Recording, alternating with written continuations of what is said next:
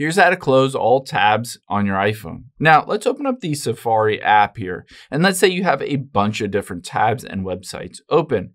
You can quickly close them all just by tapping and holding on the two squares at the bottom right. So tap and hold.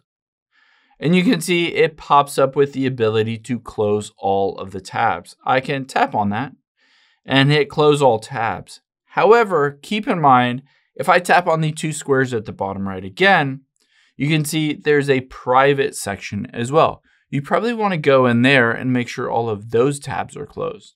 So tap on private and we'll hit done. And again, tap and hold at the two squares at the bottom right.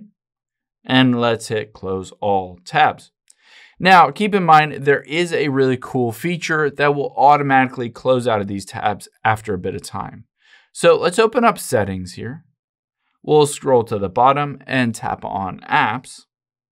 And then let's scroll down until we get to Safari on this list. So tap on Safari and you can see a bunch of different settings.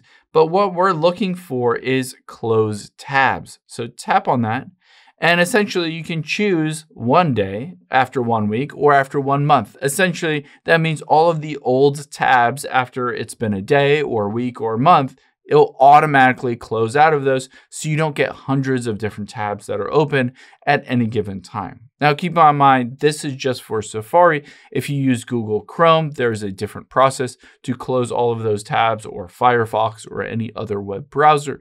But essentially, it works similarly. You can close all of those tabs at once so that you don't necessarily need to be basically overwhelmed with how many websites are open at any given time.